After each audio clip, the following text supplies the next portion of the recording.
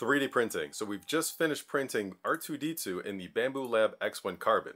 Let's see how it turned out. So this is a multi-filament printer. So you can have multiple colors printing at the same time. And this uh, looks really nice.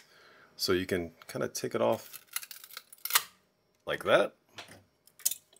And uh, yeah, we just have to take off the supports, but that looks absolutely crisp. Like almost like you bought it in a store. So let me take the supports off. I use these pliers here to help me uh, take off the supports. And here we are. R2-D2 printed on the Bambu Lab X1 Carbon multicolor filament 3D printer. That's kind of a mouthful, but yeah, this is... I'm loving this. Just gotta find a spot for this now.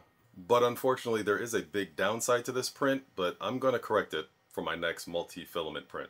So that's the little bit of support, and I'm not concerned about that. I am concerned with all of this. This is the waste, or the poop, from the printer, just to make R2.